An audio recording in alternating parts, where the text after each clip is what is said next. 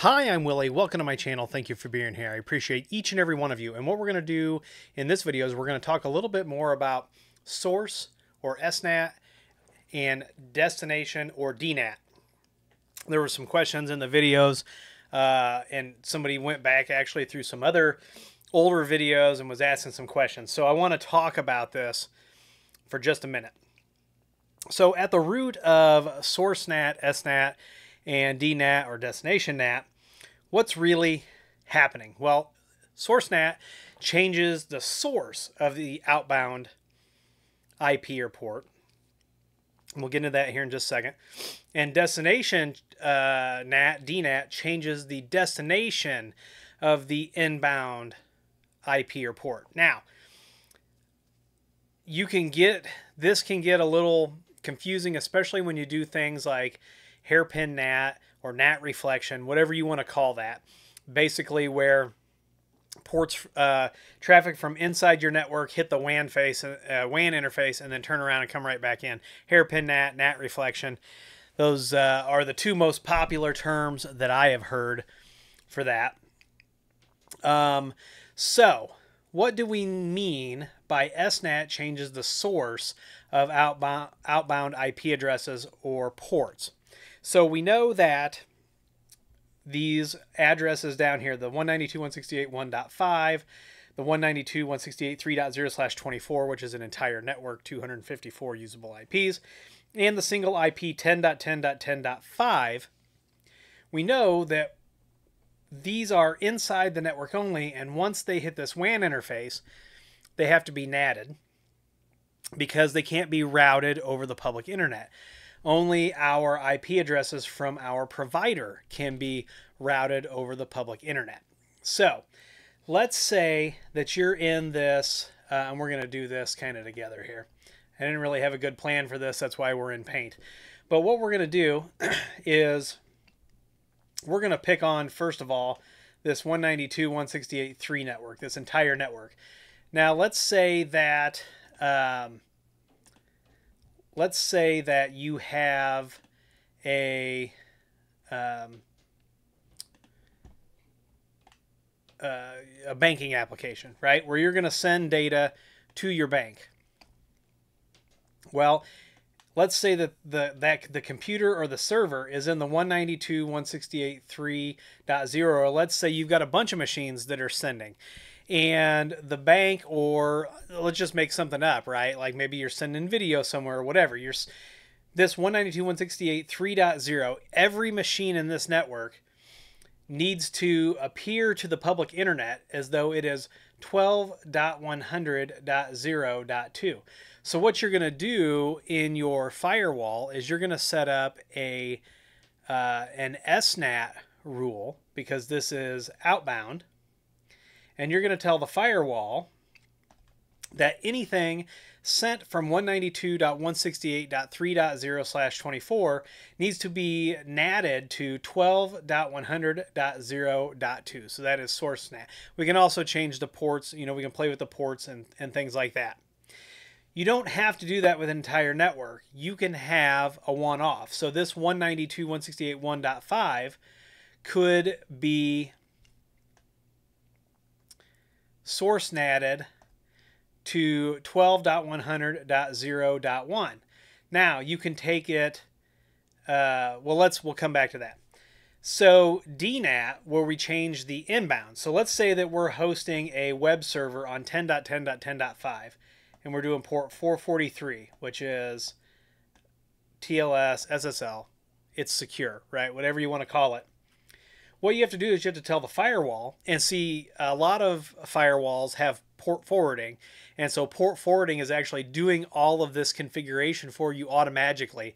And like if you have an edge router um, and you enable port forwarding um, if you go into the config it doesn't even show the dnat it like it like obscu- it's obscured like the router's doing it but it's the rules aren't there the same way as if you went and actually added a dnat rule but what we would do is we would set the uh, so so all web browsers know that port 443 is for HTTPS by default, right? So we would set an FQDN, uh, you know, to, to hit 12.100.0.3.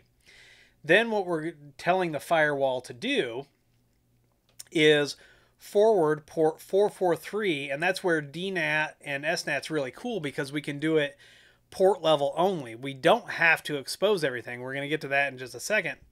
But what we do is we tell the firewall anything that comes into your WAN interface that is destined for this 12.100.0.3 port 443 ferry it through the firewall down to 10.10.10.5 port 443 okay so we're matching it. Now, when you start doing source ports, things can get crazy because I've seen people that accidentally use source ports instead of destination ports. And when a computer is sending, the uh, source port can be totally random. Uh, when you're requesting 443 for HTTPS on a server, your source port is probably not going to be 443. It's going to be something else. So you got to be careful when you start um, specifying source ports, right? But destination ports for services are going to be fixed unless you're doing port knocking and some other things that we're not going to cover in this. So that is DNAT. Now, if we have a combination of SNAT and DNAT, we can call that one-to-one. And I did not put that in the uh, in the title of the video. I have a one-to-one -one video you can find. But if we tell the firewall to go ahead and forward all ports, not just 443, anything that's destined to 12.100.0.1. Let's do this in yellow. Anything that is destined for 12.100.0.1, no matter the port, ferry it through the firewall, down, to 192.168.1.5. And then we also tell the firewall anything from 192.168.1.5 when it hits the WAN interface, always translate it to 12.100.0.1. And we have now created a one-to-one -one mapping. Now, you may have to do some other configuration based on who your firewall vendor is. Like you may actually have to go into the firewall itself and allow all those ports. Doing it on the NAT table may not be enough because they're processed differently. So that would be a one-to-one -one setup. I hope that that clears this up a little bit. Let me know down in the comments if I cleared it up. Let me know if I confused you even more. And the other thing is, real quick, what we'll take a look at is we will take a look at, we'll take a look at our Grandstream router and we'll take a look at what this looks like. Hold on just a second. All right, so I'm in my GCC 6010 and I'm under firewall policy and advanced NAT. And you can see I've got SNAT and DNAT. So I can add a source NAT. Now I would have to have multiple WAN uh, addresses it, because if I don't, I'm just masquerading everything to my single WAN IP. But you can see, you know, do I want to do certain protocols? Um, all UDP, TCP, so that would be basically all, or UDP or TCP. There's some other protocols like ICMP and things like that. It's not specifically listed here. Um, and then the source IP address, this would be the inside, and then the uh, here's where you get into your um, your your ports, and you don't you don't necessarily have to uh, mess with the ports. That's why there's not an asterisk there. But then what you would do is you would specify your destination IP address on your on your WAN interface. And then if we go to DNAT and we go to add a rule, remember this is inbound traffic. You can see it's kind of the same thing we get down here to rewriting our destination port because we might want to do that. Sometimes you want 443 to go to something else internally. We'll get into that. Let me know if I just confused you on that down in the comments. But then look at this. We've got the NAT reflection down here. and that's where you're going to be able to hit that firewall and come right back. So if you're not running an internal uh, DNS server, this is where your internal clients can use an external DNS server, get the WAN IP of your service, and then come back right through. Uh, by default, a lot of fire firewalls don't allow that. Some of them you have to have more configuration. If you're using port forwarding, which I think if I go over to the router here, let's see, external access, port forwarding. So if I add a, a port forward here, then there's somewhere else. Well, you know what? I, I don't want to speak out of turn. I don't know if this does hairpin NAT or NAT reflection by itself. Definitely the uh, firewall on the DNAT side, we have to turn it on.